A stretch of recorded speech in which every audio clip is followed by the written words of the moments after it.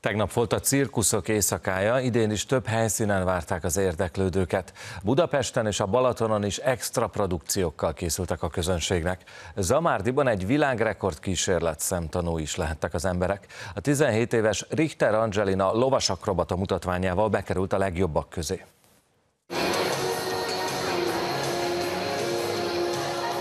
Két lóhátára állt fel először, és úgy egyensúlyozott Richter Angelina Zamárdiban a cirkuszok éjszakáján. Ez sem mindennapi látvány, de ami ezután következett, azt a közönség is lélegzett visszafolytva nézte.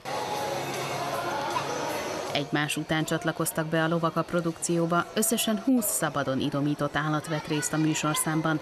A 17 éves artista a lovak hátán állva körbe-körbe ment a manésban, ezzel a teljesítménnyel világrekordot döntött. Megmondom őszintén, nagyon jó érzés, nagyon büszke vagyok magamra és a lovaimra természetesen, és nagyon hálás vagyok a családomnak, hogy ennyit segítek és támogatnak engem.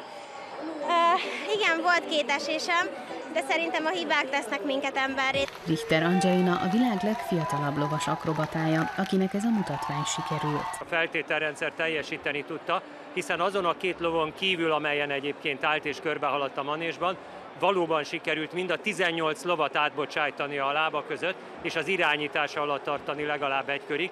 A világrekorddal nem értek véget az extra produkciók. A Richter Florian cirkusz idén is rengeteg különlegességgel készült a cirkuszok éjszakájára. Az ausztrál kartnyelő és az akrobaták izgalmas perceket,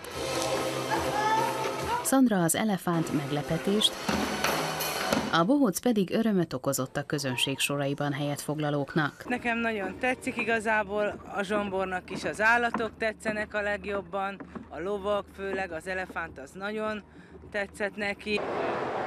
A bátrabbak be is állhattak artistának, kipróbálhatták például a tányérral egyensúlyozást és a kézenállást is. Nehéz magam megtartani. Kellett hozzá segítség. Budapesten a fővárosi nagy cirkusz a Sztyeppék világának megidézésével készült a cirkuszok éjszakájára. A Balatonparton pedig két helyen, Zamárdiban és Balatonlellén várták az embereket.